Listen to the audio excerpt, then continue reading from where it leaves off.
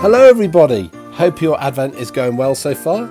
Welcome to day three on the Advent calendars. If you recall, yesterday and day two, we got the Quinjet from the Marvel Lego Advent calendar, and Happy Unicorn gave us Totally Not Princess Cadance. So let's see what they're giving us today, then, shall we?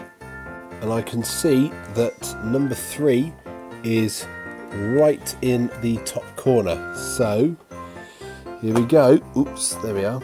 Again, a lot easier to open these Lego Advent calendars. And we've got Spider-Man. And so, here is Spider-Man in his Christmas jumper. Look at him. Oops, sorry mate. Look at him, he's really, really cool. I love it. So obviously he's got the traditional Lego Spider-Man head and a Christmas jumper which has little Spider-Man sort of knitted logos on it and web detailing on the front and on the back as well. And he's got Spider-Man written in embroidery on the back of his jumper. There's a close-up. And he's just got um, sort of blue trousers on really. And he comes with little accessories. Now, I'm confused as to what these are. Are these like little mini blasters or are they Christmas lights? I want to say that they're Christmas lights, but I'm really, really not sure.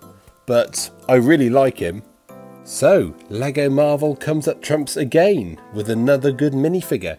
So, over to Blind Bag Perfect Harvest for Happy Unicorn time. We got Princess Cadance not in the calendar yesterday. So, here's number three. Let's see if it comes out, comes off in one piece. Um, the answer to that is yes. And, um, oh, okay. We've got Rainbow Dash. I forgot to point out yesterday when Princess Cadance came. Technically, she's an alicorn, so yeah, unicorn really. Rainbow Dash, I don't know if you've noticed, lads, not a unicorn. But uh, yeah, I mean, to be fair, it's not the most inoffensive Rainbow Dash I've seen. Actually, I've just noticed she kind of has most of her colours in her mane. So this is in some ways actually better than the actual Hasbro toys. Um, another thing that I forgot to mention were on day one, well actually I've only just noticed it now, something which I've only just noticed now, none of these ponies have cutie marks. Um, yeah, anyway. But also, there's there's that face. Uh, yeah.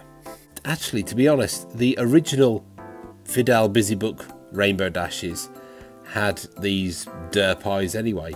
And for some reason, that always reminds me of uh, Mr. Cupcake's parody of The Dog of Wisdom. Baba, hababadagada. Hatabadaga. But uh, yeah, again, not too bad. But uh, yeah, those those those eyes. So, thank you very much for watching day three. I hope you enjoyed it. And stay tuned for tomorrow for day four. Cheers for watching, guys. Take care.